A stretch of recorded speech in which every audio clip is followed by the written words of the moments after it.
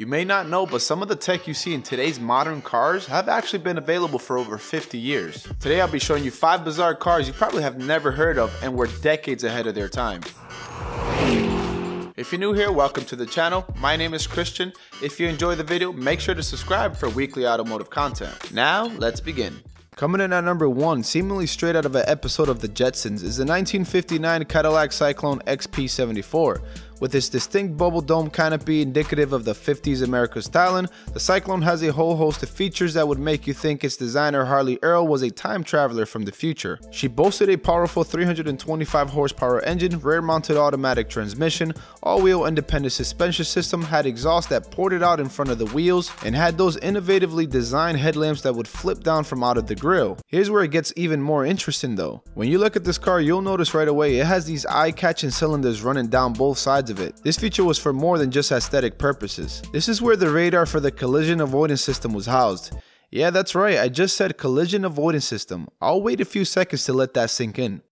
This car was so ahead of its time that it had a collision avoidance system that would actually warn you of objects up ahead and calculated based on speed you were going how long it would take you to stop in order for you to avoid hitting it. It's hard to believe now when watching commercials for new cars bragging about these new collision avoidance systems coming standard with them that this has already been done, and so long ago too. The Cadillac Cyclone is certainly a standout for its pioneering blend of exquisite beauty inside and out and its groundbreaking technological achievements. In the era of the newly developed atomic bomb, Harley Earl working with GM decides to fire back with his 1953 General Motors Firebird XP21. This wagon of mass desire was the world's first ever gas turbine car. Harvey Earl, the eccentric time traveler he was, decided to take the same engine that was currently allowing aircraft to take humans past the speed of sound for the first time in history history and stick it in a car. This little aviation inspired toy packed a whopping 370 horsepower, which by today's standard isn't too much, but in 1953 that was a pretty big deal. This was one of only a handful of cars at the time that could reach the ever so elusive 200 miles per hour mark,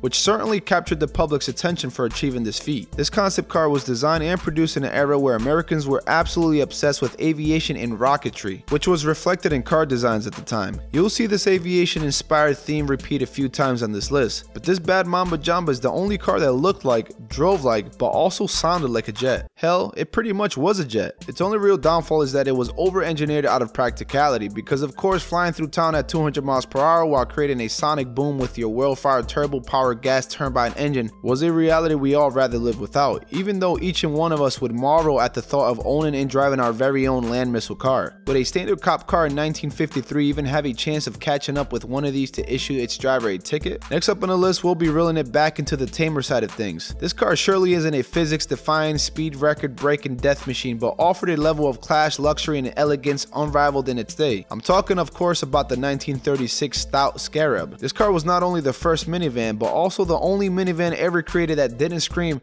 I've given up on life and trying to get laid. All jokes aside, the Scarab was not well received when it came out and was considered ugly. Over time, however, this gem ended up becoming a hallmark of Art Deco design. It was built around a living room on wheels concept and took comfort to a new level in automobiles. Its front seats would rotate 360 degrees, the back seat would fold out into a couch which also had a table that folded out in conjunction with it, creating a very cozy atmosphere perfect for relaxing at pit stops on long car rides. It also had a very low floor plan in order to maximize the room inside of it it, which was the crowning detail that really allowed the Scarab to achieve its living room on wheels mission. They say to be great is to be misunderstood, and I guess this saying holds true when discussing the Scarab. It was just too ahead of its time to really be appreciated, and for the public to yearn for a vehicle more suited for living on the road. We wouldn't see this type of vehicle become popular for about 10 years, and it would take another 30 for them to catch up to Scarab when it came to comfort and amenities. If you couldn't tell already by some of the other cars on this list, America was obsessed with aviation in the 1950s and incorporated aircraft inspiration in cars quite often. This next car is no exception to the trend, but arguably did it in a more eye-catching fashion than anyone else. Say hello to the 1956 Buick Centurion.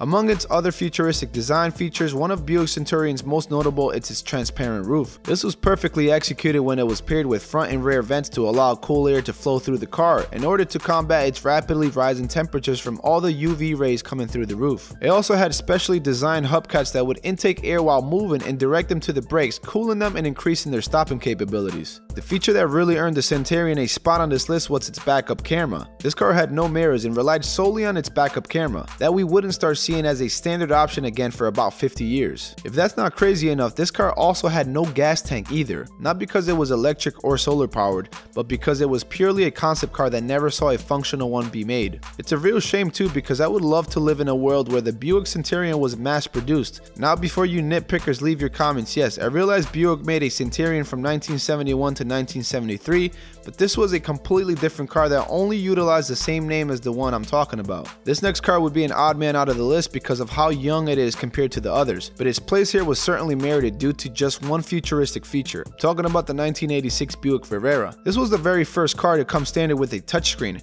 No, I didn't misspeak, a freaking touchscreen. This in itself is such a mind-blowing feature for a 1986 vehicle, but it gets way more intense the more you dive into it. Yeah, sure, it did cool things like control the radio, climate control, and what have you. This screen also had a trip odometer, would tell you how much gas was in the car, check your brake pad status, and even do a vehicle diagnostics test for you. These are features we're used to seeing on today's Tesla, but a Buick from the 80s? This hidden little gem was truly back from the future. The screen or the graphical control center as they coined it was a tube design, so essentially this was just a small TV they jammed into the interior of the car. The screen was actually pretty big, but because of its tube design, it was pretty bulky and cumbersome. But hey, it was the 80s, wasn't everything like that? Obviously the graphical control system was hailed as a groundbreaking step towards technological luxury, but it was also heavily criticized for being a negligent driving distraction. Funny to think how this little screen could cause so much controversy as a driving distraction in a day and age where drivers are constantly tapping out novel sized text messages while driving. Unfortunately, the Riviera sales plunged in 1990 and then its line far too soon. The sales drop was not contributed to the graphical control system, but rather a variety of factors at the time.